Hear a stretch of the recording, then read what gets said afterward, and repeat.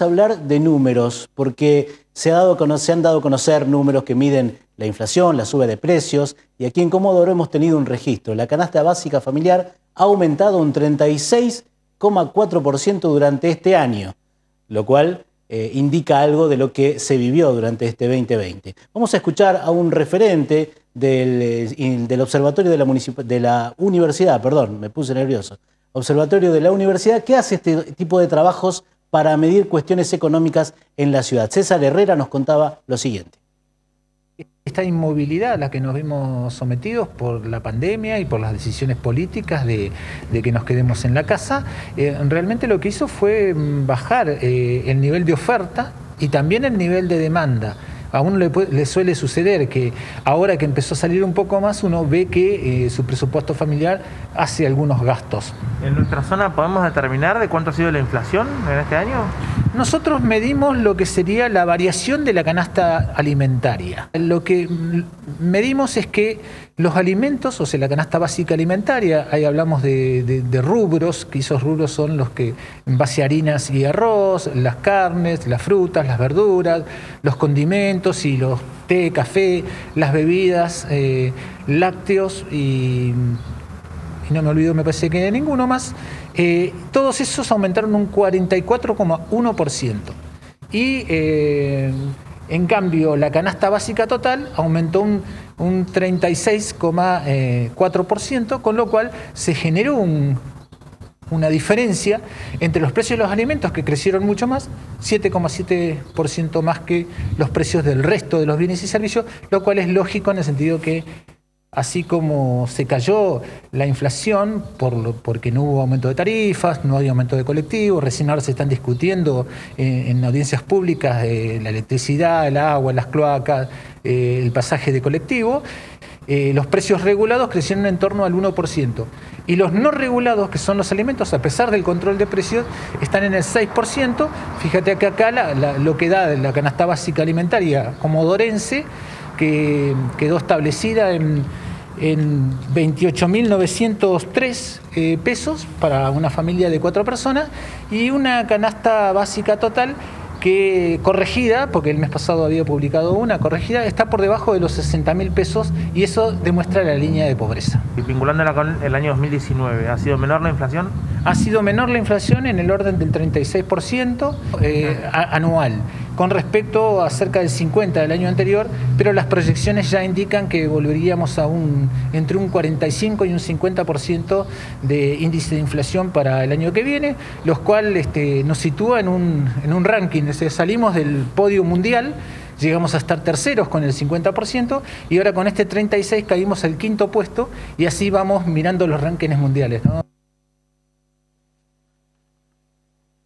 Escuchábamos a César Herrera, contador desde el Observatorio Económico de la Universidad, haciendo este análisis. La canasta básica ha aumentado un 36,4% y algunos otros números. Eh, el aumento, por ejemplo, en el rubro alimentario fue del 44,1%. Aún así, todo este incremento ha sido un 14% menos que el registrado en el año 2019. Se siente de todas maneras en el bolsillo, en el movimiento comercial en la ciudad, en un año prácticamente atípico. Te pregunto, Cristian, si estos números también son acordes con lo que se vive eh, allí en Puerto Madryn. Bueno, efectivamente, las cifras son eh, muy similares en toda la provincia. De Puerto Madryn no es la excepción. En un año en el que, eh, si uno se pone a pensar, dice, ante la, la, pérdida de empleos que hubo producto de la pandemia, producto de la cuarentena más que de la pandemia, no hubo, digamos, paritarias como otros años y este, al mismo tiempo eh, hubo un incremento en distintos rubros de este, productos que tal vez no registraban una variación de precios tan marcada año tras año y este año sí se dispararon. Por ejemplo,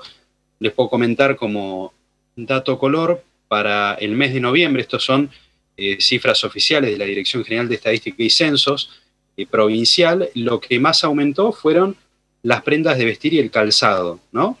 Son rubros que estuvieron cerrados durante muchos meses y que en noviembre registraron una suba, en este caso del 4,8%, pero también pasó con bebidas alcohólicas y tabaco, principalmente con alimentos que promedió el 3%, y todo esto se viene acumulando después de varios años de una inflación que el año pasado fue superior al 50, este año va a ser un poco menos, pero como es Argentina, no se sabe qué es lo que va a pasar el año que viene. Eh, pero aquí en Puerto Madryn sí se ha notado un aumento generalizado de todos los productos, pero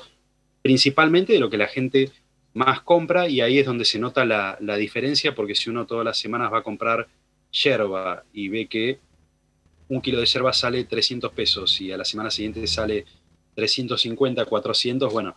la diferencia se ve en, lo cotidiano. Algo que, decías vos, Cristian, me parece bastante interesante porque eh, no hay forma de, hacer una trazabilidad en cuanto a, la manera en que esto afecta a la gente, sino lo llevamos también a la cuestión salarial. Y ahí vos mencionabas lo de las paritarias, ¿no? La diferencia entre el salario y el salario real. Digamos, si un salario crece el 30% con una inflación del 36%, en realidad nominalmente crece el salario, pero el salario real es un 6% menos que el del año pasado. Quiero decir que la manera, la, manera, de poder trazar la forma en la que esto afecta a la gente es esa, ¿no? comparándolo justamente con los aumentos salariales que cada uno de nosotros ha tenido y entender si nuestro salario real, nuestro poder adquisitivo, efectivamente creció, se mantuvo o si disminuyó. Claro, en realidad las paritarias por debajo de la inflación son directamente proporcionales a la pérdida de poder adquisitivo,